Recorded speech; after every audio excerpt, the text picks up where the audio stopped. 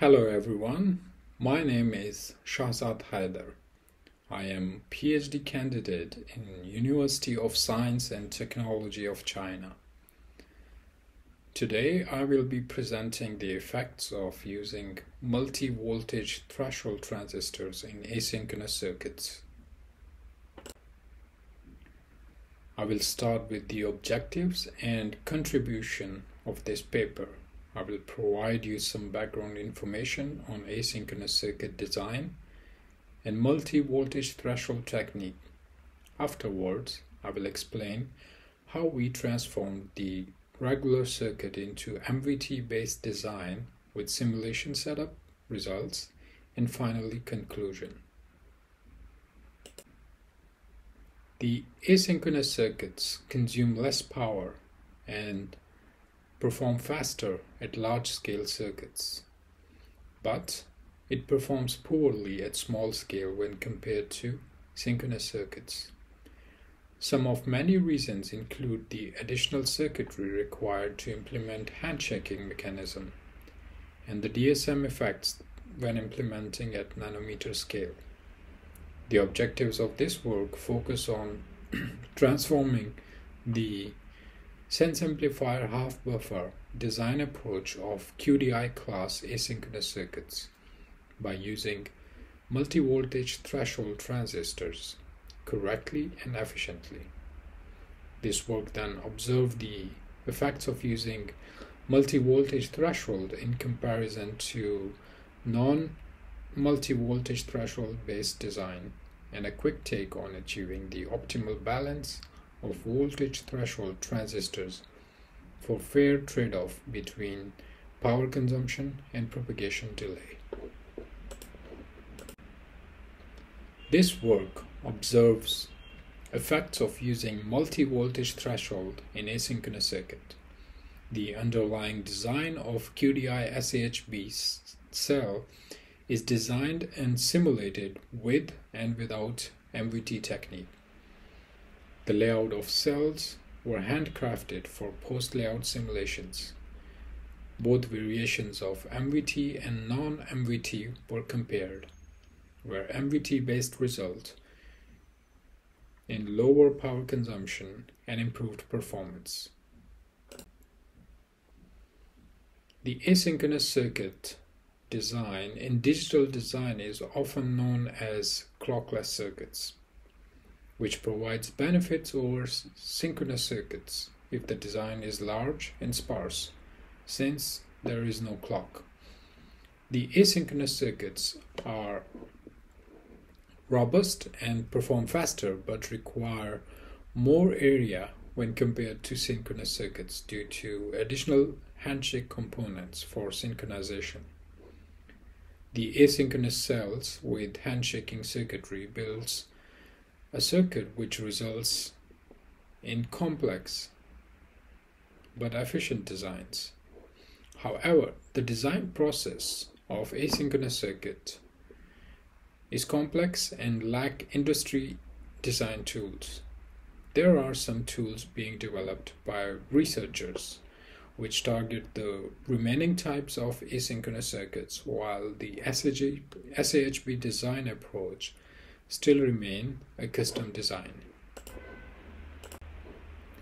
Sense Amplifier Half Buffer SAHB QDI SAHB logic cell design approach is a fully custom design approach and hence time consuming but performs better when benchmarked against other QDI asynchronous circuits. It is based on static logic with two basic components for each cell. The SHB cell use NMOS only transistors in evaluation block to reduce the power consumption and increase the switching speed for logic realization and input completeness check. The design also used PMOS and NMOS transistors in sense amplifier block to abide four phase handshaking protocol and amplify the outputs from evaluation block. This design takes advantage of dynamic voltage uh, full scaling DVFS to work on nominal voltage as well as nominal with subthreshold voltage, which makes it faster and consume less power when compared to previous design approaches. Multi-voltage threshold MVT technique.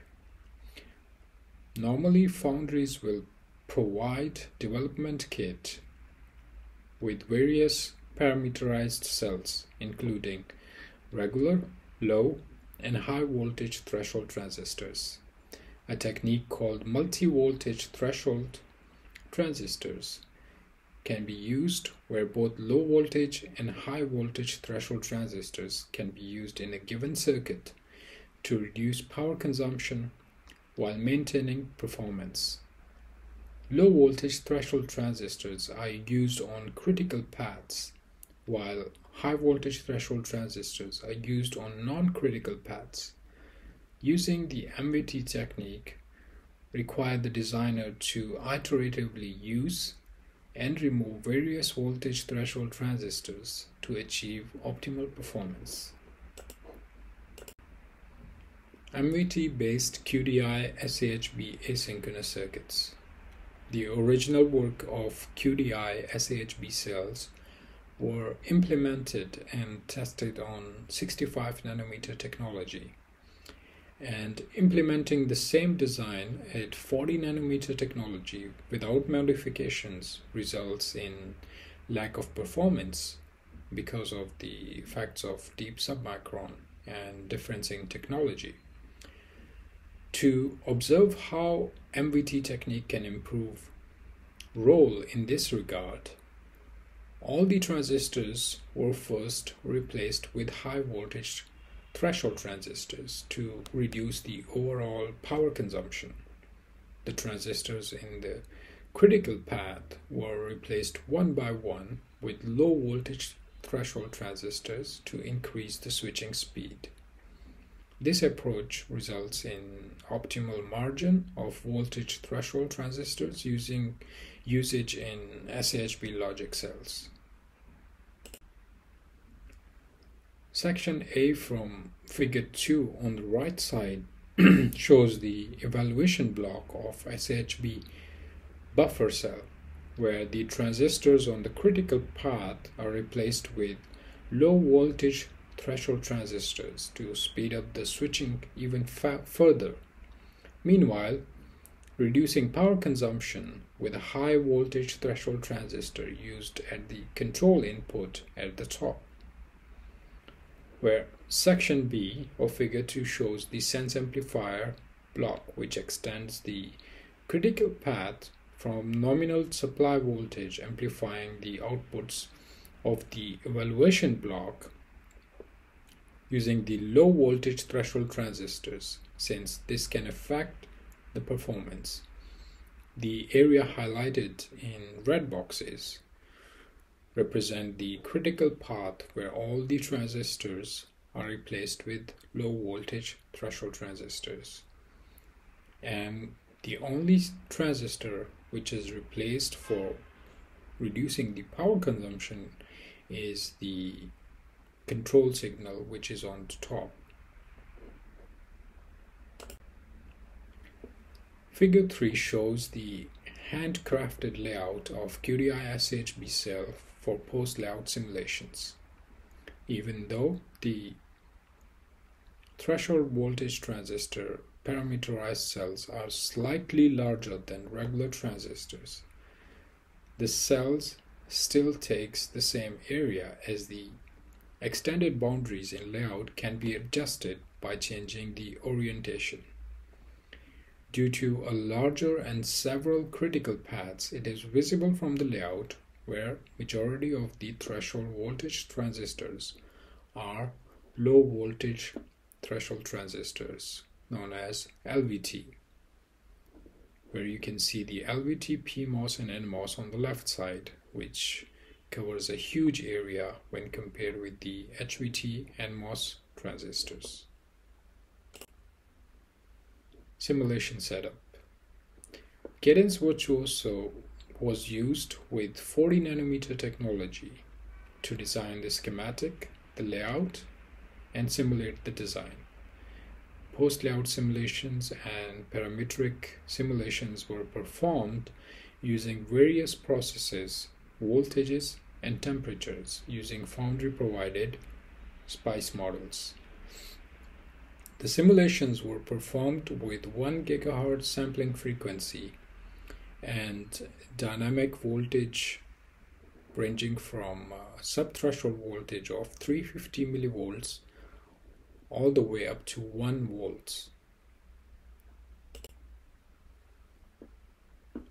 Results When the post layout simulation is performed with accurate SPICE models, the results show desirable reduction in delay propagation and substantial reduction in power consumption.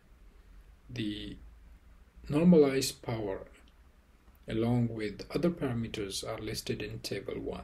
It shows about 23% reduction in power consumption and about 8% reduction in delay. The results show that the implementation at deep submicron can be improved by employing MVT technique for reduction in propagation delay and power consumption. Furthermore, in order to carefully implement the SAHB designs, uh, which may result in increase in area the power consumption of SAHB buffer cell is reduced from 9.73 microwatts all the way to 5.43 microwatts. Similarly, the delay is reduced from 386 picoseconds to 269 picoseconds. The energy product and the power energy product and the energy delay product of the MVT design show improvement from non-MVT based designs and you can see the the difference is quite substantial in this case. We investigated the effects of using MVT in asynchronous SAHB buffer cell with and without MVT transistors implemented at 40 nanometer CMOS technology when compared with previous work of SHB and PCHB implementations at 65 nanometer without MVT design methodology. Our results show further decrease of nearly 23% saving on power consumption and nearly 8% savings on propagation delay. Thank you all for listening. Please ask if you have any questions.